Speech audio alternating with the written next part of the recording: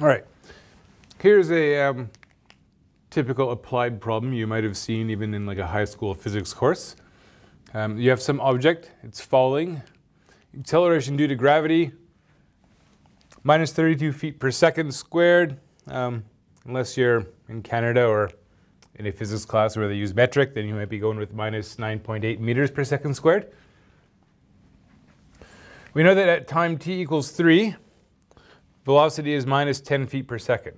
And now we want to figure out, based on that information, what's the velocity for any other time, right? So we say, okay, what do we know? So basically we say, uh, what are we given?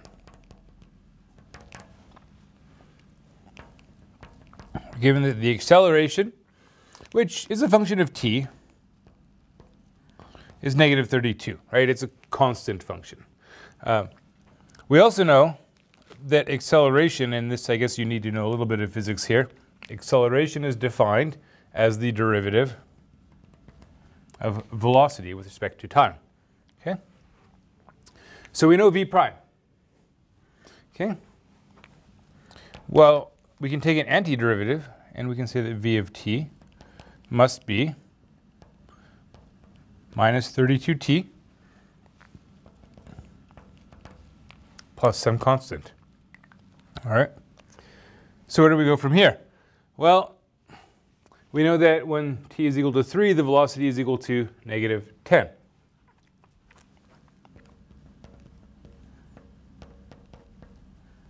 So we can put that information in v of 3 is minus 32 times 3 plus c. And we want that to come out to give us negative 10. So we work that out. 3 times 32 gives us 96. Add that, you know, move that to the other side. We add 96 to negative 10. We get 86 for c, right? So this tells us that C equals 86. So my velocity as a function of time is minus 32t plus 86, right? So one of the things that you can get from something like that is this also tells you things like, oh, um, if, we think this whole process began when t was equal to zero, right, then our object started with an initial velocity of 86 feet per second traveling upwards, right? We think of negative as down in this context, we're moving up and down, right? Um, so it started with this initial velocity, it was going up at 86 feet per second, right? And then it starts coming down, right? And by the time we hit three seconds, velocity is negative 10 due to this acceleration um, due to gravity. Um, now, there, there are lots of places you can take a problem like this, right? This is all that we were asked for in this question. But there are lots of reasonable follow-up questions that you might ask. You might ask things like, okay, that's the velocity as a function of time. What about position, right? Velocity is the derivative of position. Can we do another antiderivative and get the position as a function of time? Well, yeah, of course we can, right? Um, we could go one step further. We could say, all right, um, y of t, let's call it y think of y as our height, right, is going to be, so antiderivative here, t squared over 2, 32 over 2 gives me minus 16 t squared plus 86 t. Again, plus some, well, maybe I shouldn't call it c. I already had a c, so maybe we call this, uh, I don't know, c2 or something. It's a new constant, right? When we get to there.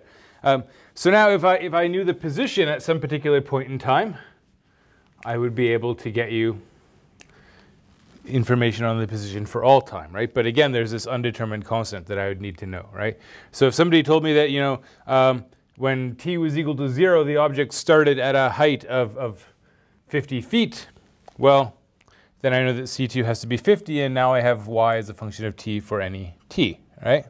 Um, other questions you might ask are things like, all right, what this tells us is that the, the object started traveling upwards at 86 feet per second, and then acceleration due to gravity is slowing that down until it peaks, and then it starts heading down again, right? At what time did it peak, right? What's happening there? Well, um, what happens when it hits that peak height, right? That's kind of the maximum value for the position. Um, well, we know that a maximum happens when a derivative is zero, right? Velocity is the derivative of position. So if we know when the velocity is zero, then we know the time at which that thing hit its peak height. So we can figure that out, right? Um, if we knew the value of this constant C2, we can take that value, right, 86 over 32, we could plug it into here and we could figure out just how high it made it, right? Um, we could figure out things like that. We could figure out problems like, you know, how long did it take until the object hit the ground? If we define the ground as being maybe when y equals zero, right? Then we, we have a quadratic that we have to solve. Um, lots of interesting problems that you can ask in this context, right? All these kind of, you know, um, a stone is dropped from a building, variations on this problem. Um, they're all solved with antiderivatives given initial values.